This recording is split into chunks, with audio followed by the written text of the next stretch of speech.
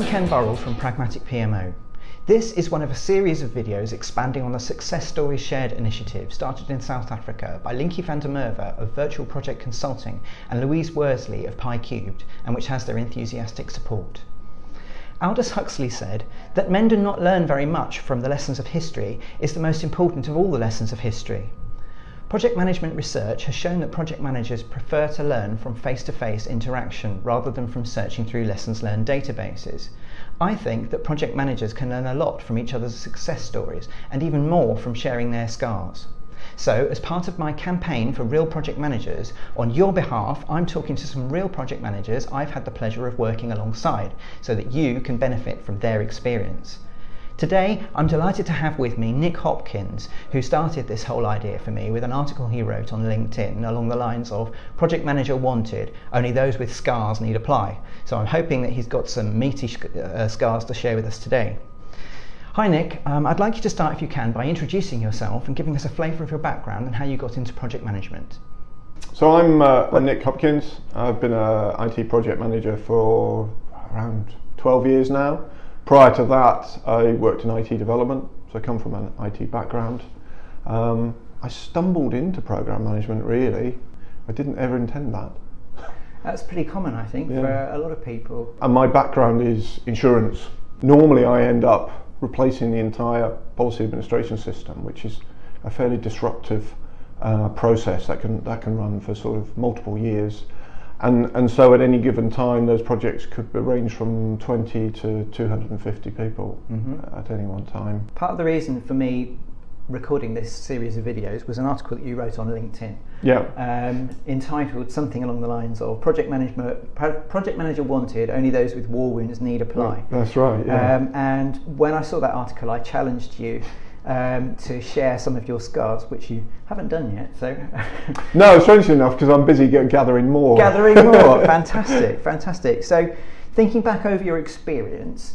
Um, can you think of, uh, of an example of a particularly egregious scar that you would have acquired from a particularly gnarly project? And what um, where, where, to start? The, the thing is, and, and, and, you probably know this, Ken, there, there are so many, and you, you pick up so many scars along the way. But commonly they fall into to various patterns. There are multiple patterns out there. Uh, the cultural one's always a very interesting one because I sit in boards where at the start of programs where the board say oh, everybody in the company is empowered to make change, they're empowered to make decisions, and then ultimately what you find is that that is really 100% the opposite because actually no one is empowered to make a decision, or everyone is too scared to make a decision because of perhaps something that's gone on in the past.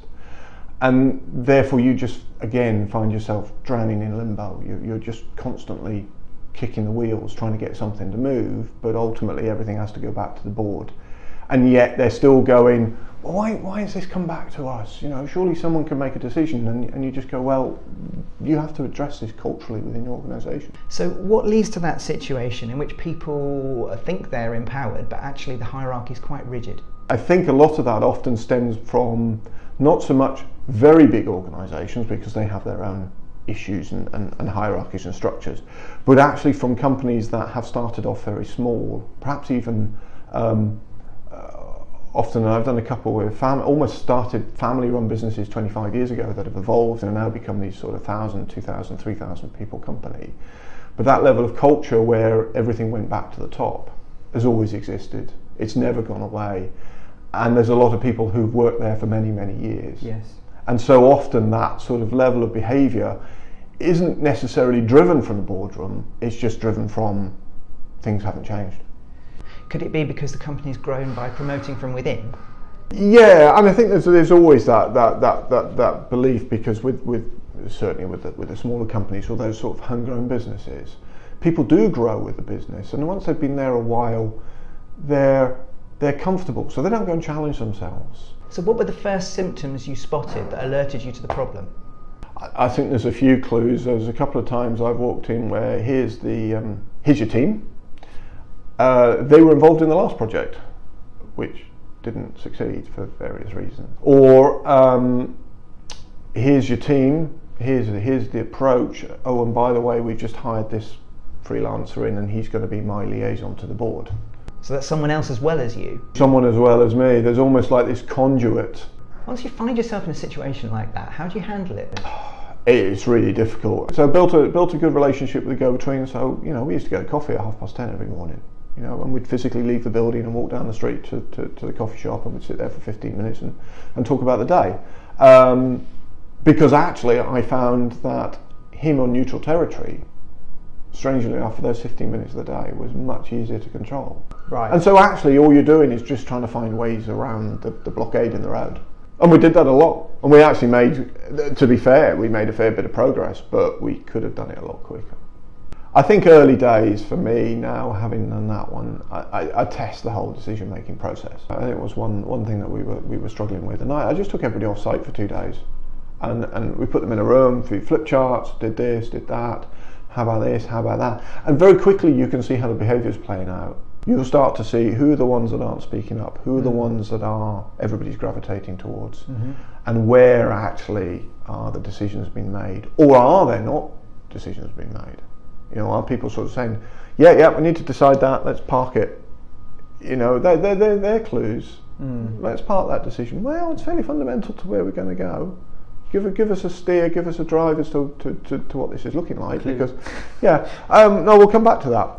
Okay, so let's just challenge on when we're going to come back to that because that's that's fairly fundamental. Yeah, then then you can start to see where the behaviours are coming okay. out from. So I think that's that that to me is quite key because because ultimately you need to know the people that you're you're dealing with. So it's about identifying the key players I in the team. It's about identifying the group dynamics of the team.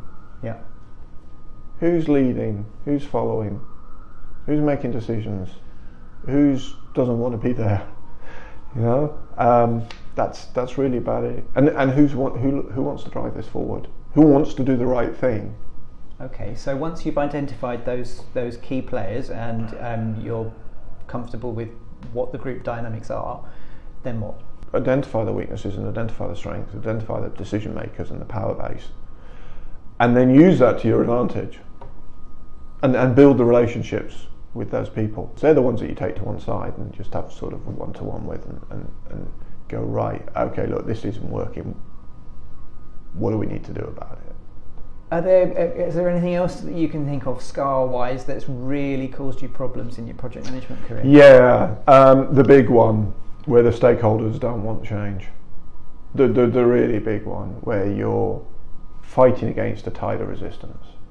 Okay. And and that's much more difficult to, to, to deal with because actually no matter how much you take people to one side, no matter how well you build those relationships, ultimately that resistance to change is going to impact what happens. And sometimes that they are a little bit blind to that, and, and sometimes that's where, as I said earlier, you come back to these political clashes where really there's a them and an us.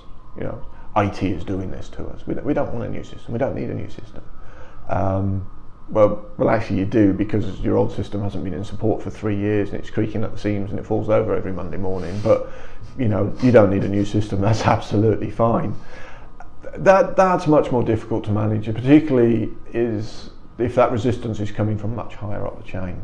It can be difficult when they're in a position of decision making and, and they do have final say on things. So then you can find yourself stuck in a limbo um, and, and spinning your wheels waiting for those decisions to be made. All, all you can do is just use your SteerCos and your, and your program management boards and, your, and your, your steering packs and force the decisions higher. The toolbox just it has a number of mechanisms open and risks and issues, actions. Um, you know, even project finances. Actually, we've got a whole team sitting here not able to do anything, and it's burning you twenty thousand pounds a week. You know, because they're not doing anything.